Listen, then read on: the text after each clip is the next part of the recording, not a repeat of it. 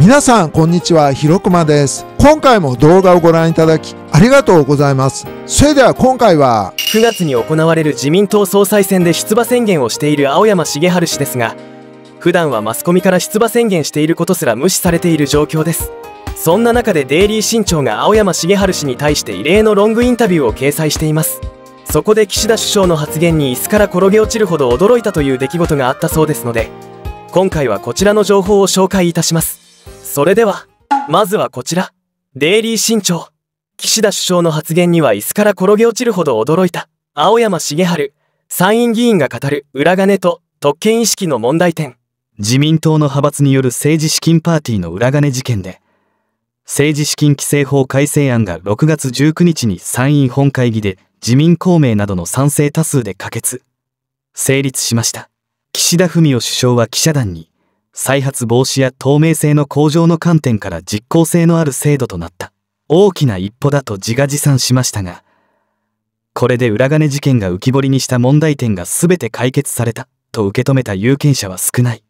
政治資金規正法改革はこれからが大事です。特に第三者機関の設置は非常に重要ですので注目しておきましょう。改めて振り返ると昨年11月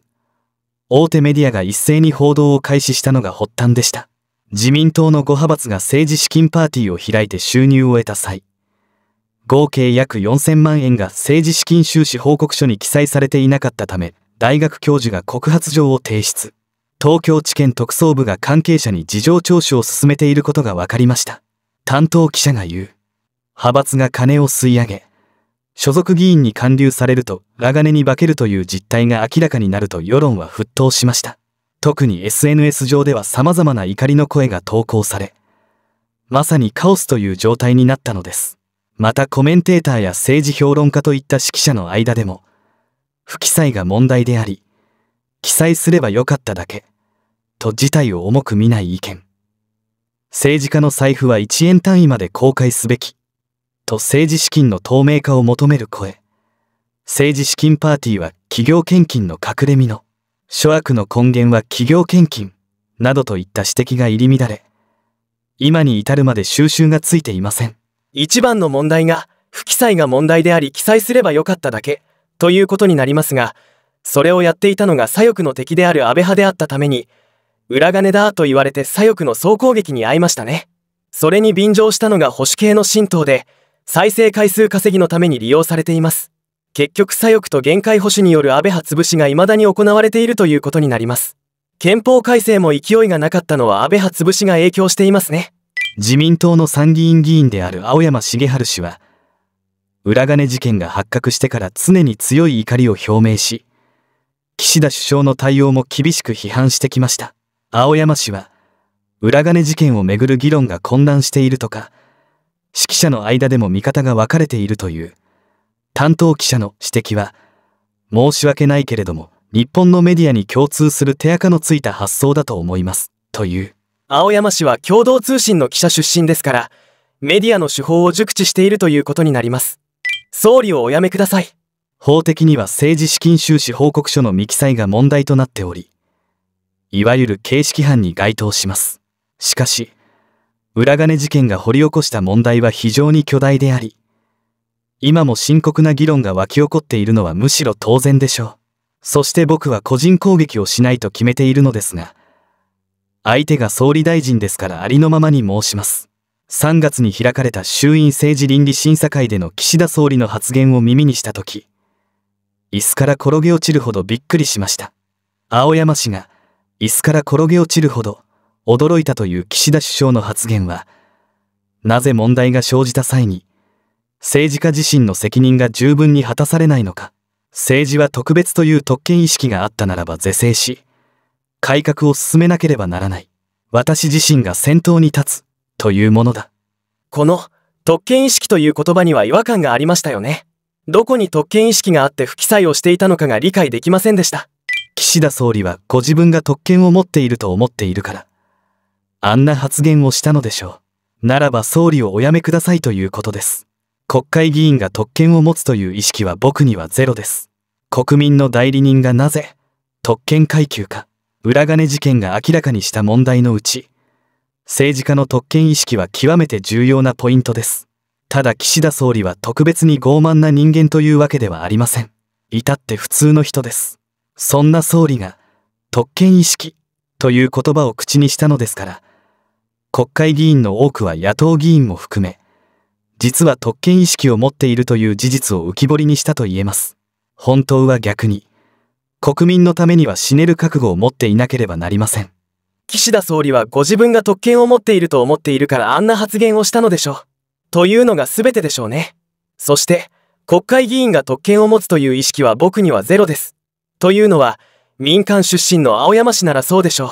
私も民間ですので国会議員が特権を持っているという意識はありません。おそらく世襲議員には特権意識があるのかもしれませんね。しかし青山氏が指摘したように、国会議員の多くは野党議員も含め特権意識を持っているという事実を浮き彫りにした、というのはそうなのでしょう。国会議員になると特別だという意識を持ってしまうものなのでしょうね。しかし本来国会議員は国民の代表ではなく代理です。なので特権意識などとんでもありません。そこで青山氏が言うように、国民のためなら死ねる覚悟を持っているかどうかということになります。しかしそんな意識を持つ国会議員はごくわずかかもしれませんね。まずそんなことを口にする議員がいませんからね。ポスターの問題点。自分たちは特権階級だ。だからパーティー券でノルマ以上の収益を上げれば還流され、政治資金収支報告書に記載しなくても許される。これが国会議員の本音であり、それは国会議員の日常的な行動に滲み出ているという。献金を、僕は個人からも企業からも1円も受け取りません。派閥は菅義偉さんの、ガネーシャの会のような準派閥を含め、決して加わりません。ですから派閥のパーティーとは無縁。個人のパーティーも開きません。団体支援の申し入れはお断りし、講演会も作らず、講演会長も置かず地元も作りません。僕のこうしたやり方は一つの新モデルであり、他の議員に求めることはない。この献金を受け取らず派閥に入らずパーティーもせず講演会も作らないという一つの新モデルは、正解では青山氏しかできていません。これをやることで弱みを握られることはありません。例えば献金を受け取れば個人でも企業でも意向を聞く必要がありますし、派閥に入れば派閥の意向を聞く必要がありますし、パーティーを開けば参加者からの意向を聞く必要がありますし、団体支援があれば団体の意向を聞く必要がありますし、これが一番大きいのですが、講演会や地元を作ればその意向を最大限に聞く必要があります。なので青山市の収入源は歳費と本の著作権により成り立っているそうで、弱みを握られない構造になっています。これに近いのが小野田公氏です。しかし小野田氏は講演会と地元がありますが個人パーティーは開いていません。なので青山市に近づくための一つの新モデルは自分自身で収入を上げる何かが必要ですね。一方で孤立もしません。僕が代表の派閥ならざる新しい議員集団、守る会。日本の尊厳と国益を守る会は100人です。それがこちら、青山市のブログです。これが100人に達した守る会の最新名簿だそうです。ちなみに守る会はいわゆる議員連盟となり派閥とは違います。派閥は他派閥との掛け持ちができない拘束力の強いものですが、議連は他議連との掛け持ちが可能です。この守る会も掛け持ちが可能ですので、派閥と比べて結束力は弱くなります。そこで青山氏は総裁選への出馬宣言をしていますが、この守る会を足場にはしていません。あくまでも応援は任意だそうです。そうしなければ100人も集まらないでしょう。なので今まで大会者は1人もいないそうです。議連ではいつも言い争いが絶えず大会者も出てくるものなので、100人も集めるのは大変なのです。これは青山氏が他人の意見を尊重するので組織運営が良好なことを示しています。なので拘束力が弱い議連であっても、総裁選で青山氏を支持する議員も多くいるでしょう。ただ、例えば僕と他の議員では事務所の使い方も異なります。その違いは、国会議員の特権意識と密接な関係があると考えています。多くの国会議員は議員会館の事務所に自身のポスターと、選挙区の名産品や観光地を紹介するポスターを貼っている。ところが青山市の事務所にポスターは1枚も貼られていない。僕は選挙の公示後にポスターを1枚作るだけです。公示にならないと選挙活動をしないのでポスターはないのです。参議院の全国区選出の意味を重視して地元を作らないので名産品や観光地のポスターを貼る必要もありません。税金で議員会館は運営されていますから、僕の事務所は国民から借りているのです。もしアパートにポスターを貼ったら、退去の際は、敷金で現状復帰が求められます。ところが議員会館は引っ越しの際、公費でリフォームを行います。ポスターを何年も貼っていると跡が残りますが、それは税金を使って壁を張り直すのです。国会議員が私費で払いたいと言っても拒否されます。そのため僕はポスターを貼りません。まずは趣旨から離れますがこの参議院の全国区選出の意味を重視して地元を作らないというのは総裁選と関係しています青山氏は参議院議員だから総裁選へ出馬できるのか勝って総理総裁になれば衆議院を参議院議員が解散するのはおかしいのではないかという議論がありますまずは参議院議員でも総裁選への出馬は可能です過去には林芳正氏が参議院議員時代に総裁選へ出馬していますこれは岸田派が誰か出しておかないといけないという都合もあったようです。そして青山氏は参議院の全国比例で当選しています。全国比例なので全国の有権者の投票により当選しています。そこで通常であれば、例えば青山市の出身地である神戸に地元を作った場合、神戸市民や兵庫県の意向を聞き入れなければいけなくなります。しかし青山市の考え方は、総理大臣は日本国を守らないといけない立場ですから、本来であれば地元よりも日本全国を重視しなければなりません。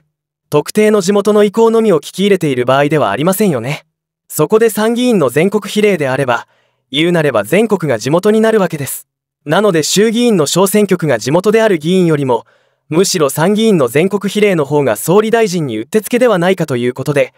あえて特定の地元を作らずに総裁選への出馬を宣言しているのです。これは非常に納得できる考え方ですよね。そこで参議院議員の首相自らは解散で首を切られないのに、その首相が衆議院議員の首を切るのはおかしいという議論ですが、解散は政権の求心力を保つために行われる部分がありますので、それが国益にかなうかどうかということになります。それならば任期まですれば良いというのが青山氏の考え方です。そうすれば参議院議員の首相であっても問題ないということになります。そこで本題に戻りますと、地元を持っている議員たちは議員会館に地元の人たちが陳情に来るので、地元の名産品や観光地のポスターを貼ってアピールしているわけです。しかしその議員会館は落選すれば引っ越しをしないといけません。その際は公費でリフォームが行われますので、それが特権意識で当たり前だと思っているのではと指摘されているわけです。普通の国会議員は、事務所のリフォーム費用を公費で負担してもらっても疑問に感じない。これでは特権意識を持っていると指摘されても仕方ないだろ民間であれば全て自費で払わないといけませんからね。その通りだと言わざるを得ないでしょう。代表ではなく代理人。う。青山氏は参議院の経済産業委員会に所属しています。議論では経済の専門用語が飛び交うことも珍しくありません。青山氏は、中学生や高校生が聞いてもわかる議論にしようと努めていますが、他の議員にはほとんど見られません。ここにも国会議員の特権意識の塩源が感じられるという、政府と専門用語を使って議論するうちに、特別な仕事をしているという気持ちが無意識に生じるのではないかということです。これは新潮さんの鋭い指摘ですね。全くおっしゃる通りで、青山氏の国会質問を見ていると、難しい単語や略語をわざわざわかるように言い換えている発言があります。国会議員が特権階級などとんでもない話で、本来は前述のように国民のために犠牲になる覚悟のあるものでなければならない。裏金事件が浮き彫りにした国会議員の特権意識という問題は非常に根が深い。なぜなら憲法の前文に、権力は国民の代表者がこれを行使、とあります。第43条にも、全国民を代表する選挙された議員とありますが、これは国会議員は地元だけではなく全国民の立場で行動すべきという趣旨です。いずれにせよ、代表という言葉が憲法に何度も出てきます。やはり憲法は根こそぎ改憲する必要があると考えます。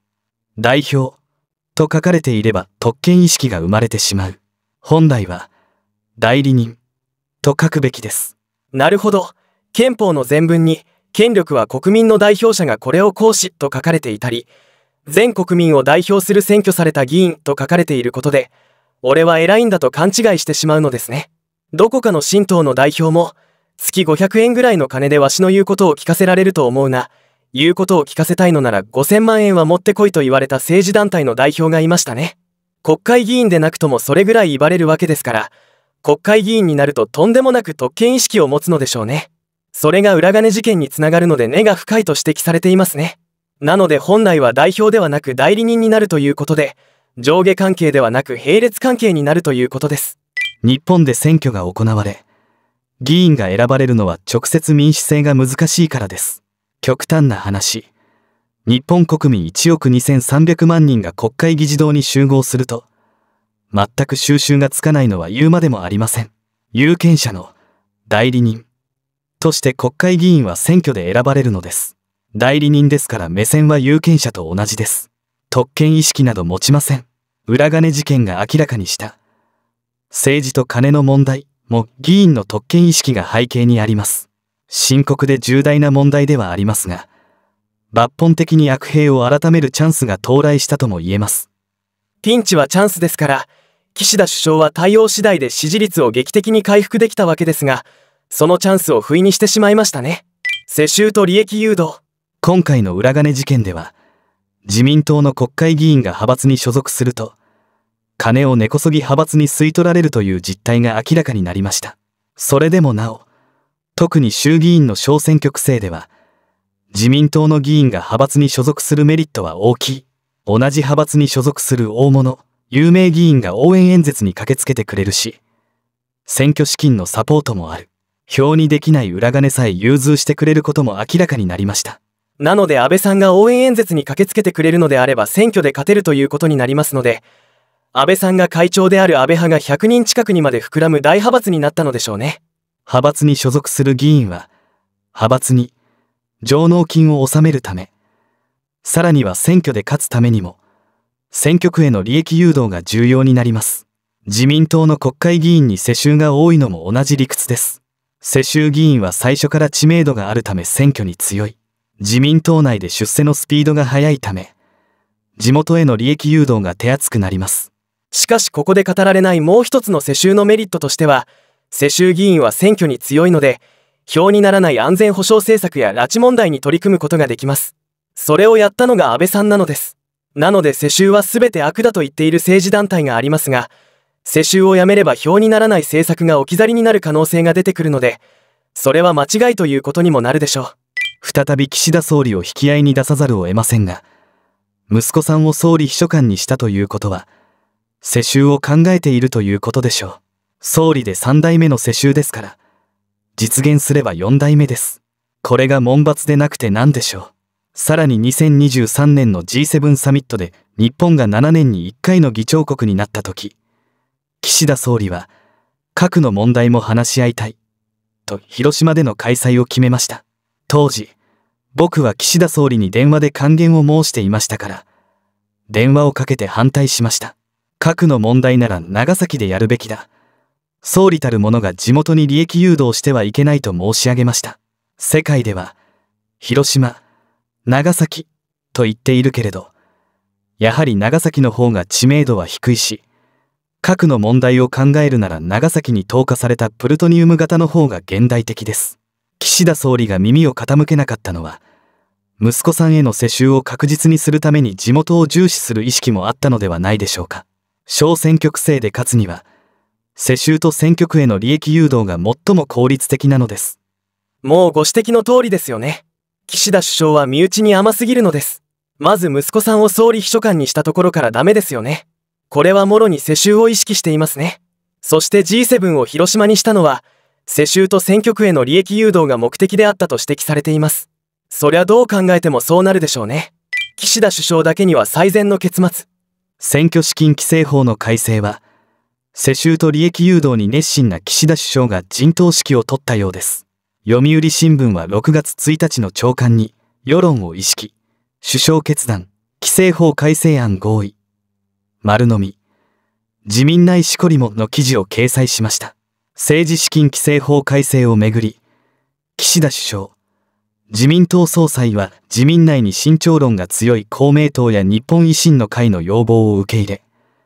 今国会での改正実現に何とか道筋をつけた。世論の逆風の中で他党の主張を軽視すれば政権が持たないと判断したためだ。